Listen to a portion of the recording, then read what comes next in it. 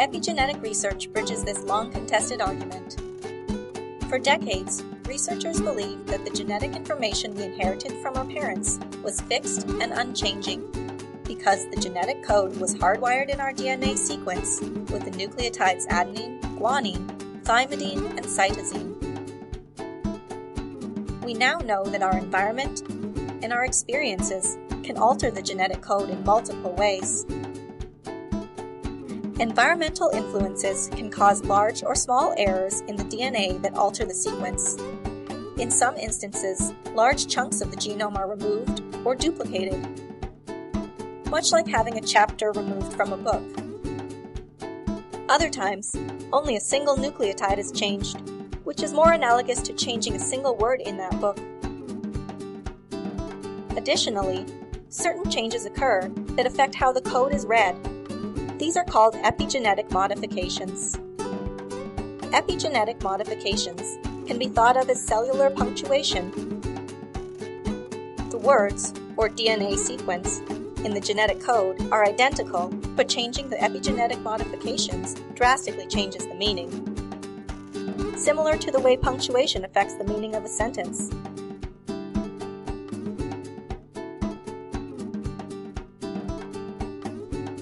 There are over 40 different epigenetic modifications that dictate when, where, and if genes are turned on or off. Epigenetic research probes the interface between genetic adaptation and environmental experience, which includes the effects of toxins, stress, and even learning and memory. Our question about nature versus nurture becomes more complex. Epigenetic modifications can take the form of nucleotide modifications, such as the addition or removal of chemical groups, or modifications to the histone proteins that help to pack the extreme length of the DNA into tiny cells. While epigenetic modifications occur in all cells in the body, neuroepigenetics refers to modifications occurring in the central nervous system. For example, environmental stimulation, such as maternal care, can enhance the brain's ability to adapt which primes the brain for improved learning. Neuroepigenetic research can help unravel the meaning of these adaptations at the molecular level. Neuroepigenetic modifications are implicated in learning and memory, stress responses, Alzheimer's disease, post traumatic stress disorder, schizophrenia, and neurodevelopmental disorders such as Angelman syndrome, autism, and Rett syndrome. Understanding neuroepigenetics may present a new approach for treating mental disorders and learning disabilities as they are potentially modified by experiences and environmental cues. But there are challenges that lie ahead.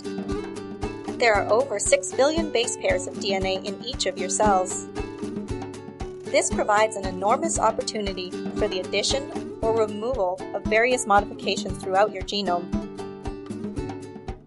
Furthermore, each type of cell in the body has its own unique set of epigenetic punctuation marks to tell its own story. For example, the epigenetic punctuation in each neuron is different from every other cell in your body. And the punctuation in the liver is very different from the punctuation in the skin. And these modifications are dynamically regulated in response to various environmental stimuli. So, understanding epigenetics is a huge undertaking. To understand the neuroepigenetic complexity underlying behavior, it is necessary to work together